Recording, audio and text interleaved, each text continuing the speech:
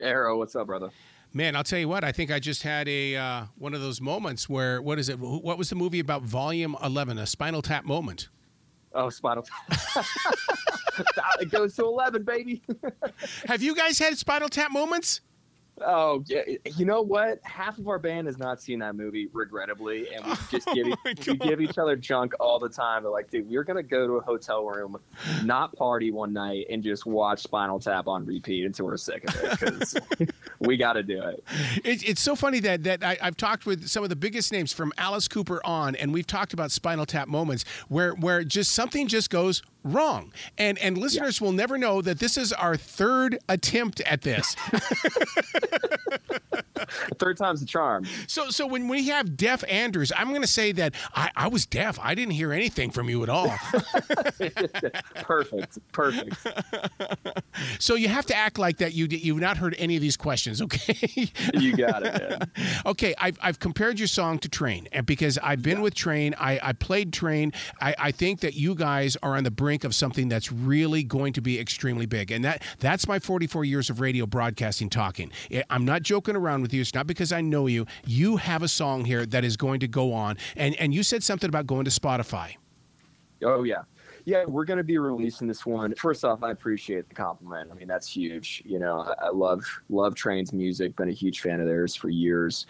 Um, and you know, we're gonna be putting that out on Spotify in about a week and a half, uh, two weeks actually. So next Friday, uh, September 22nd, we'll be dropping the one that I sent you over today. Um, and yeah, you know, Train. uh, That's a good comparison. Um, I- I don't think it's ex- who we draw like inspiration from, but it definitely definitely has that vibe. You know what I mean? That fun, energetic, summer loving vibe um, that we were really going for on these um, on this new song.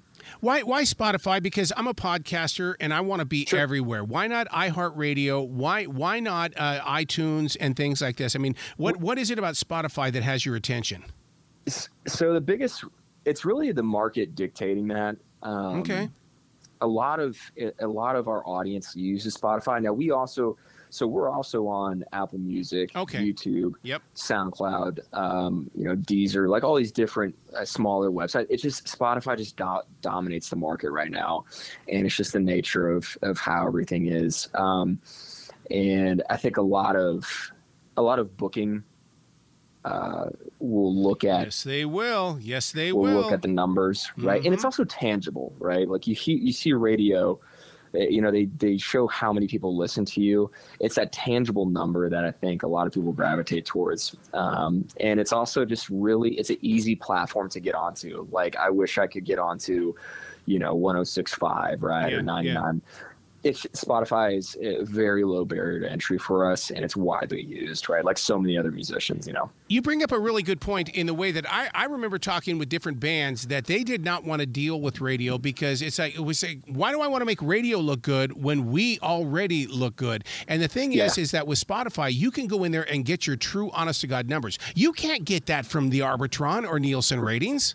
Right, right. It's tough too, and you know we can also just be as authentic and in control of our release and music uh, as we want. It's, and that, for that matter, so can the audience. You know, if they want to listen to our music, they're going to listen to our music, right? Yeah. They don't have to, you know, be at the whim of whatever radio DJ is out there, right? If they're clicking on it, they're clicking on it for a reason, right? And that's because they enjoy listening to music. So.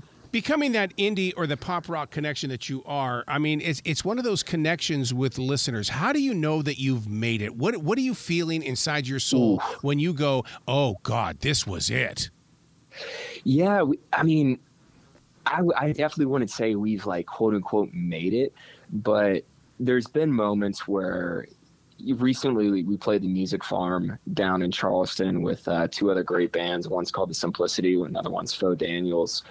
And I never thought that I would be playing a show at the Music Farm.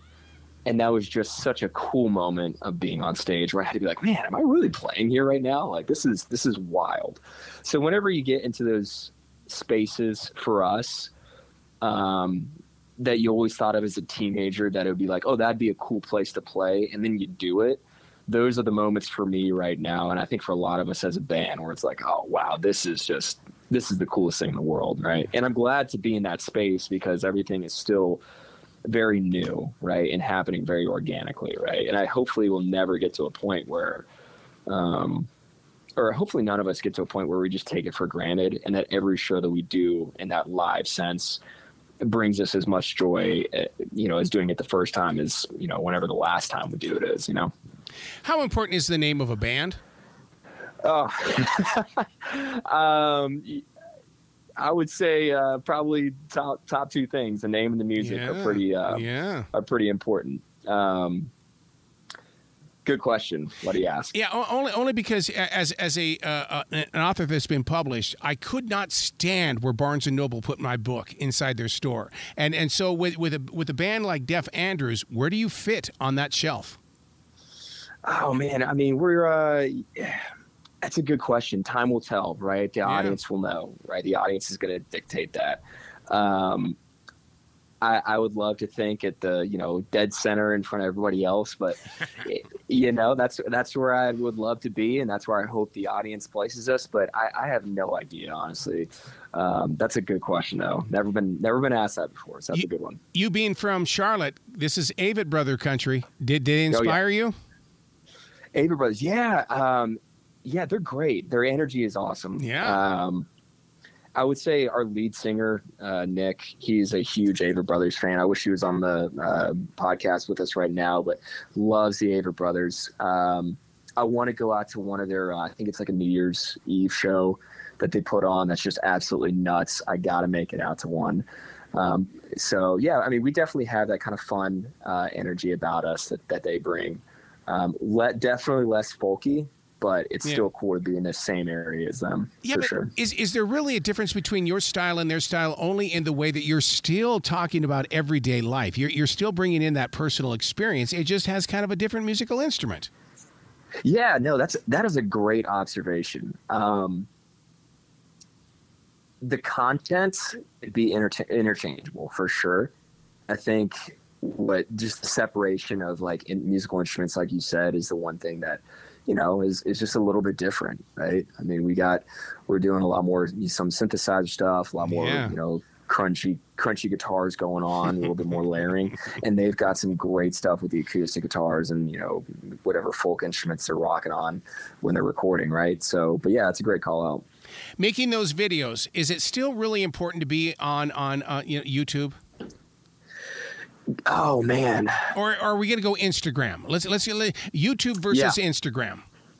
So it's two different methods of delivery. Okay. I think YouTube is great for that long format, um, music video style of delivery, um, and is a great place to put a really long format like art. And when I say long format, I'm talking like three and a half, four minutes. Yep. The TikTok and the Instagram is that like quick hit, you know, dopamine, serotonin bumping, uh, you know, those little those little hits, you know, that let you know you're still there, right? Um, so but yeah i think creating good quality content that connects you with your fans right creating a little uh, teaser video or lyric video is always great to push out there and you know just it builds it builds that connection a little bit more with the fans so i don't think youtube instagram even tiktok is, is going anywhere so. Why Saturn? Why Saturn on that first collection of music?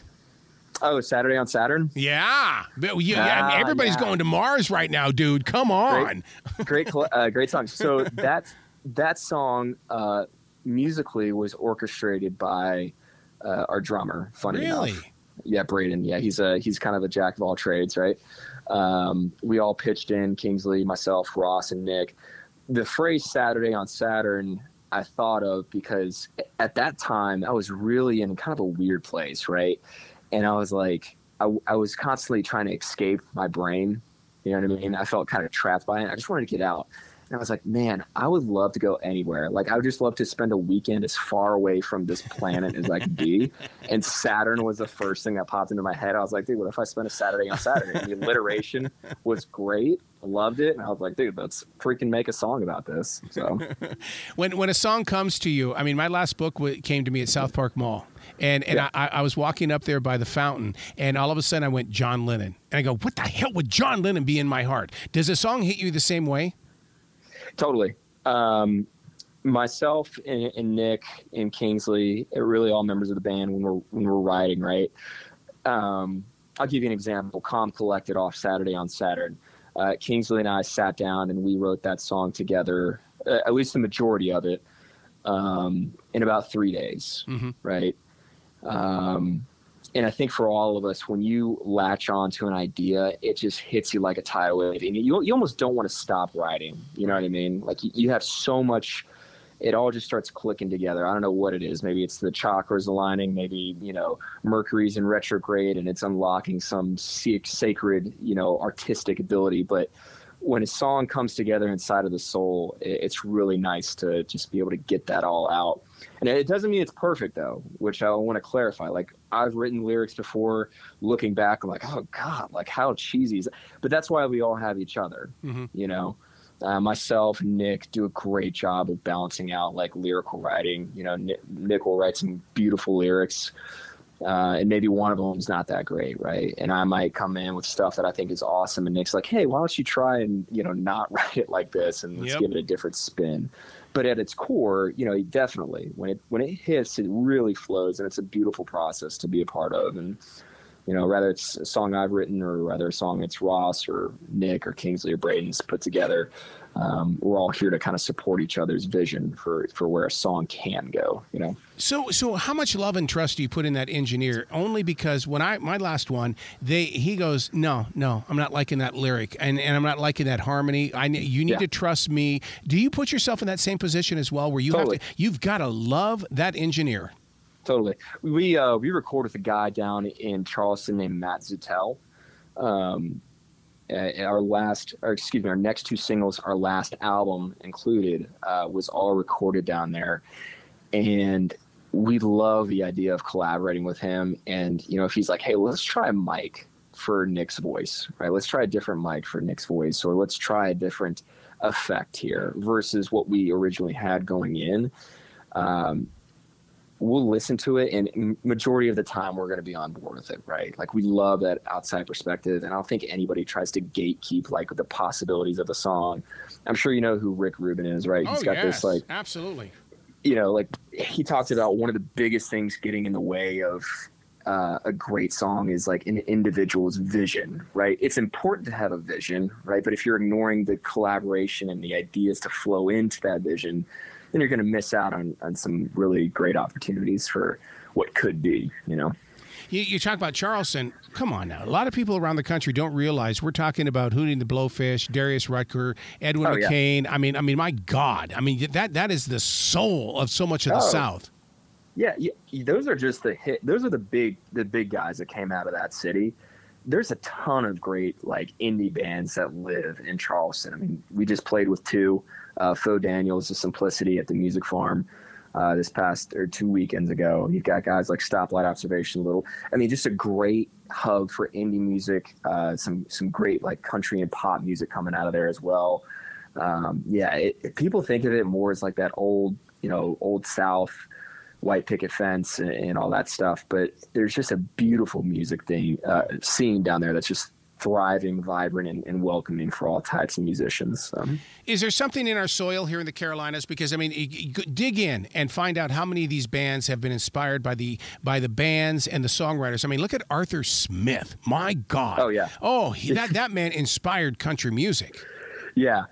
It's I don't know what it is. I mean, we've got some uh, we've got some beautiful song, singer songwriters that live in the South and from the Carolinas, and uh, you know maybe there's something in the water that we just don't see. Lake Norman. just- we feel it. Yeah, there you go. that Lake Norman water. It's good for the soul. Bad for the brain, but good for the soul. Do you, do you think being on that stage is magic? Hundred percent. Yeah. Hundred percent. I, I can't. For all of us in the band, we feel that. Um, we've played shows before where we've had a crowd that's not engaged, but when the crowd gives you that energy and gives you that love, there's nothing. It's almost like a drug. I mean, you you feel it inside of your soul on stage, and when they're with you, you're with them. It just it's that positive feedback that keeps going back and forth.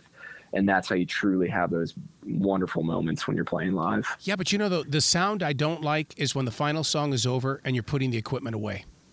Oh yeah, yeah. That's that's that's that sucks. You know, it's always an awkward transition because the thing that we try to do if we if we're playing last, right, and hopefully you know the audience likes us enough to give us an encore, right? Yeah. Uh, what I like to do in those moments is I have this little pedal on my board, and I'll hit it, and it's a freeze pedal, and it gives a it gives a little bit of an ambient noise that's kind of still there. And uh, it, it prevents the clanking and the clattering of all the stuff. That way, the audience is, isn't totally checked out. But yeah, that last moment when you play your final note, it just goes eerily quiet, you know, you, you feel like you want to play more, but it's, you know, closing time, right? So you got to go. What do you What do you do in those moments where people come up and say, "Do you need some help putting some stuff away?" And because you know darn good and well, if you don't put your toys away exactly the way they need to, they may not be there the next time. I say, I always, I'm like, hey, thanks, man. I appreciate it. I'll grab a beer. That's right. yeah, because everybody thinks they can help you. It's like, no, no, just stay away. I, I got this. yeah, I, I've seen too many falling guitar cases and too many Oh. collapsed pedal boards to to even want to go down that road. And I always appreciate it. It's just you know, that's my livelihood inside of a box. And I, uh, I, I if I'm going to screw something up, I'd rather be the one to do it rather than watch somebody else do it. So Oh my God. Okay, so let's talk about the tour. Where are you going? I, I've heard Washington and New York City. Yeah. Uh, I mean, I mean, we're we're talking about the big, big, big, big, big. This isn't Charleston. Right. Yeah, no, we're hitting uh, Washington D.C. Um, we're going down to Atlanta, Athens, God, um, Athens. you know, Oh, jeez. Athens, Georgia. Yep. Oh, my And God. um, yeah, we're gonna hit uh, New York City as well. Uh, playing in Lower Manhattan, which would be great. Um, a place called Arlene's Grocery. I thought it was like when they gave me that name, I thought it was a grocery store. It's, Arlene's Grocery is a great music venue up there in uh, in Lower Manhattan. But yeah, we'll uh, we'll be going all over the East Coast. Um, still trying to add a few more dates on there as well. So we'll be uh, we'll be hitting it hard though over the next two months. You, you, you know we have live music at Harris Teeter on Thursday nights. Why the hell haven't you been on our stage? I, I feel, it's a great question. I feel like our, our uh, genre of music might uh, might blow out the customers a little too hard. But, We I need mean, you to sell some beer, dude. Okay. There we go, man. I, I would love to. Would love to. All right. What's the website? Where can people find out about what's going on and buy merchandise? Yeah, uh, deafandrews.com. We've got all of our social media links on there, merchandise links. You can also follow us on Spotify, Apple Music, pretty much anywhere you stream music will be there. Deaf Andrews again. Um, and yeah, that'll be our uh, may be our main sources of contact for everyone. All right. The girl I've seen you with recently. When you get married, can I be the DJ? Absolutely. Because you know we were the DJ at an Avett Brothers performance. Oh, that is too cool, man. Oh That my God! awesome. And when I talked to them about that, they, they totally, totally remembered every bit of it. How they would take a break and the DJ would come on. There you go. That's awesome. How, eh, so you've met the Avett brothers? Then. Yes, You've I been have. Cool Yeah. I have. Oh, Yeah, that's yeah, great. How- to- and- just a quick question: How are they as people? They are real. They are Charlotte. You know how it is. I mean, you know, it's it's one of those. There's the Charlotte entertainers are all about. They understand the connection and the community, and and that's the, that's that's the greatest thing about this area of the world is that they're just so real. Awesome. Glad to hear it. Oh my God! Hey, thanks for your patience on going through this crap that we did. I've never done three interviews, and I hope to God none of the questions were ever the same. Oh no, it's all good. I mean, I, even if they were the same, man, I could do. I love talking with you. I love talking with people in general. So I'm I'm great, man. we got to do it again, okay? Yeah, for sure. All right, man. I'll We- check you later, CT. You be brilliant, okay? Thanks, man. You too. All right, bye, guy.